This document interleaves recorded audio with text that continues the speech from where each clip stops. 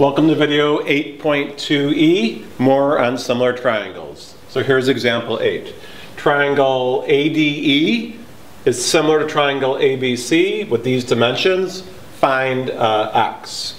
Once again, um, I just like to say small triangle over big triangle. So small triangle over big triangle. And let's see if I can get some kind of corresponding ratio. Um, all right, so I've got x is to x plus 5. Okay. Um, I could also say, hey, small over big is that to that. 6 over that would be x plus 7 plus 6, x plus 13.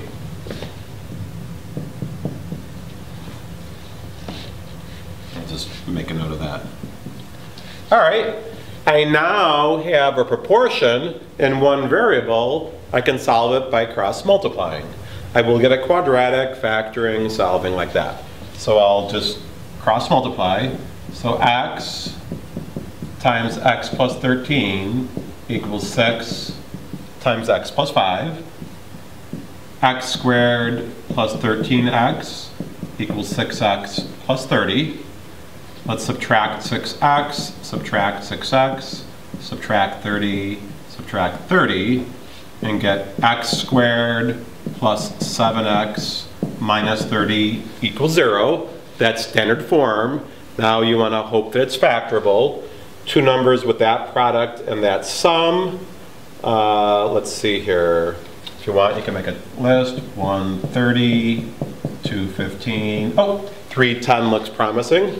I want it to be more positive, so x plus 10 times x minus 3 equals 0. If you want to do a check, I do the OI check. That's 10x, that's minus 3x, that's some 7x, so that's looking good. Then what you want to do is chunk it and set each chunk equal to 0. So then I'm going to get x sub 1 equals negative 10, x sub 2 equals positive 3. Um, it's not that x can't be negative, it's the side length can't be. So in this case, x you know can't be negative 10, so be gone. Let's make sure that 3 makes sense. Positive, uh, positive, looking good. So they said find x. So x is just 3. So there you have it. Uh, another example on solving similar triangles with a quadratic.